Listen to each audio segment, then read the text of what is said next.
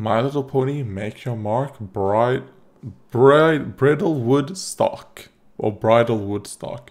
A link is in the description to my reaction to it and I will say it was better than the winter one. Um, the winter one to me was like a 2 out of 9. This was probably like closer to a 4 out of 9.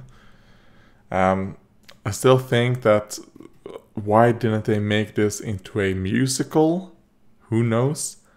Um, yeah, if it was a musical, I'm sure you could have filled 40 minutes. Uh, but yeah, no, instead they decided to take a 20 or 15 to 20 minute story and make it into 40 minutes.